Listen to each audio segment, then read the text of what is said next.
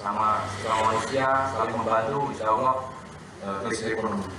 Polres Sukoharjo menyalurkan bantuan gerobak kepada para pedagang kaki lima berkolaborasi dengan Basnas. Kegiatan ini untuk mendukung usaha mikro kecil menengah atau UMKM, antara lain pedagang bakmi, bakso maupun angkringan. Kapolres Sukoharjo AKBP Wahyu Nugroho Setiawan berharap bantuan ini dapat bermanfaat guna mendukung UMKM di Sukoharjo. Nah ini kita Muslim itu bersama-sama kita kumpulir melalui UPZ Polres Sukoharjo menyalurkan atau membayarkan zakat kita melalui Basnas. Bulan kemarin November terkumpul eh, bulan pertama 16 juta sekian dan di bulan Desember ini terkumpul sebanyak 34 juta lebih. Mudah-mudahan kita istiqomah untuk membayarkan zakat kita melalui Basnas Sukoharjo.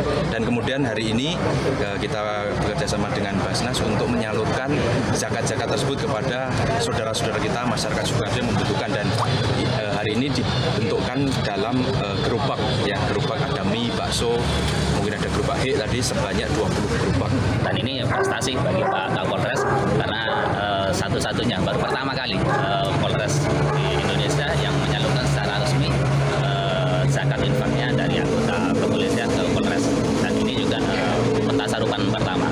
Ke depan kita memang ada rencana bekerja sama dengan Polres dengan memberdayakan apa namanya jaringan Babin Kamtibmas untuk menyaring informasi ataupun dari bawah itu kalau ada masyarakat yang membutuhkan terutama yang fakir miskin yang butuh biaya hidup, biaya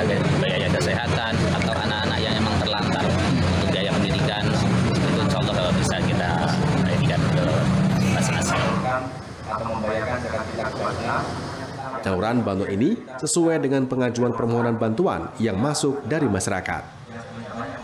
Dari Sukoharjo, Jawa Tengah, Eka Hariwibawa, Media Group Network.